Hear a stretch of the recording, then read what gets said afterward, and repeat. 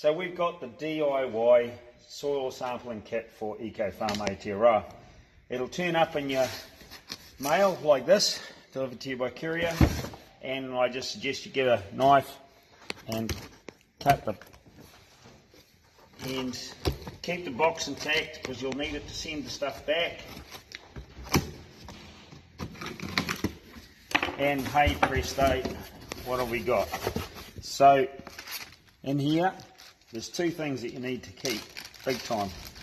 Is this is the overnight courier back again, which we'll need to put on once we've had the soil sample, and then we have the soil sampling instructions.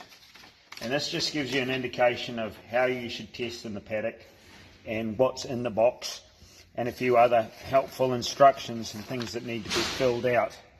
This all helps um, if we've got good information, we can help you out a lot better. So there you go, there's the instructions. Read through those carefully and we'll go and do a bit of a demo outside to show you what to do next. Okay, we've come to do our DIY soil sampling. Now the key thing, bucket, soil tester, and what we need to do is keep away from gateways, water troughs, stock camps, chicken runs.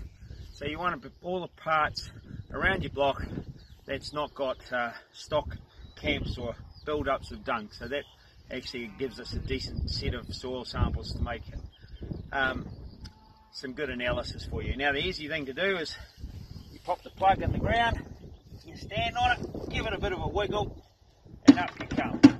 That's one plug. Now what we want to do is we'll keep moving and we'll take about 10 plugs.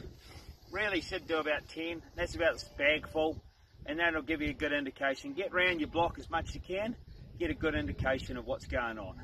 Once you get that on, done, in the bucket, we'll go back inside. Okay, I've just come back in from taking the test, giving this a quick wash um, before we put it back in.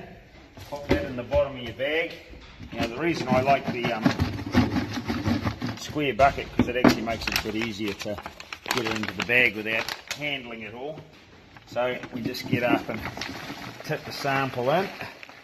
Okay, now make sure, I haven't done it on this one, make sure you have labelled the bag the same way as it says on the forms here.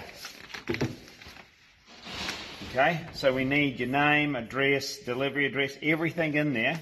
And we need the same on the client name, exactly the same, and the sample location, right? So We've supplied a couple of rubber bands to go with it. So fold that over, push it down, get the rubber bands on it, and go nuts because it needs to be held together. We don't want it spilling all over the place. Um, see it's held real tight there. You can sellotape it down if you like, stop it getting away. Um, with some people who are doing multiple soils, really important to get those names and the different addresses on there. Pop that back into your kit, fill out the forms, pop that in, and we're going to use the same box again. Now, this is quite important. This is the return address, and this is the courier paid part of the process. So what we need to do is just take that off there and put it directly over the address that came with it. Put it on, bang, there you go and we'll get some sellotape and we'll stick it back down and we can take it to the post office or drop it in the mail at the gate. And it's gone and it'll be back to us in no time.